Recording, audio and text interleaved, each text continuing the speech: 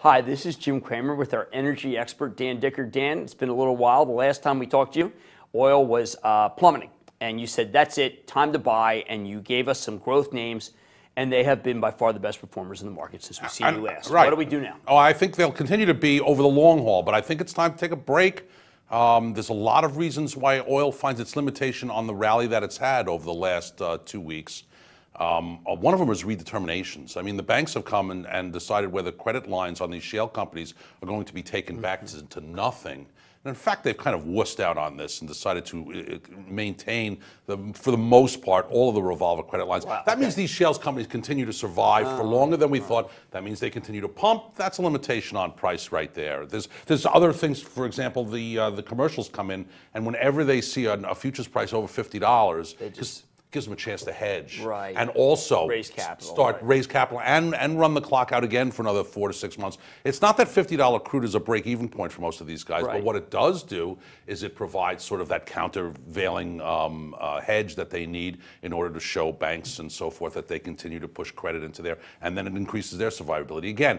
And you, you get the impression from here that although we will not see prices again reach anywhere near, you know, the numbers that Goldman Sachs was talking about, that Right. 20 handle or that Right. three handle, we won't see that. What we also won't see is much above $50 for a while to come. Okay, uh, master limited partnerships were annihilated uh, at the end of the quarter. They've bounced back nicely. Uh, distinguish between natural gas oriented and oil. Distinguish between toll road, and non-toll road. Yeah, I, you know, the way that I distinguish it, tell you the truth, is the ones that, again, it's the same way as the E&Ps. They're in tremendous problem because obviously as production drops, which it will over the next two years, there's less going through the pipes and the, the distributions are going to go down. And it's always been an interest rate-based kind Right. of business. So what I like is, and I've been told people to stay away from it. I think that the cycle, the down cycle in the in the these in the MLPs is going to be worse for them as opposed to just about everybody else around. Right. But there is one that I tell them that is worth accumulating, and it's the same one I've talked about for maybe two years, and that's Rich Kinder's mm-hmm. company.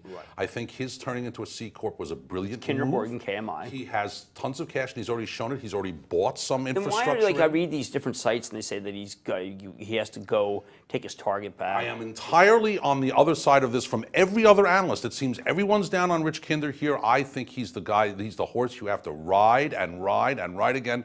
His stock was down to 30. I thought it was a tremendous value buy.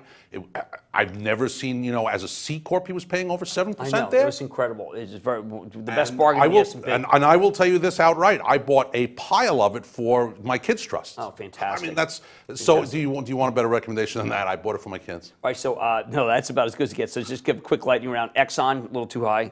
I, I think it's it's fine here, but it's not something I would jump on. It's still my favorite U.S. major. Uh, Chevron, worry about dividend? No. Very much so. I'm not I'm not on board with Chevron, and I have they still have problems with Brazil and what's going on down there. I, I would rather leave Chevron out. Royal Dutch, very headachy, Two- right? two- yeah, and and two involved in natural gas, and of course they had that horrible deal in Alaska, Yeah, that, yeah. that dry well. Uh, EOG, Love them. You'll never see them again at 70 like you did three weeks ago. But if you see them at 80, Cimarex. take it back. Again, you'll never see them back at 100 know, where the value never. was. But if you, if you cow. if you see them back down at 110, you know, take take some. Uh, we like Oxy on a yield basis. Nah, not mine. It's Okay. yours. That's that's that's your And, guy. and then uh, just in general, uh, natural gas uh, has been up lately. Uh, short-lived, cold. I think it's a very long-term turnaround of a very bearish trend on natural gas. Not time to get involved yet, big time on the on the dedicated natural gas players.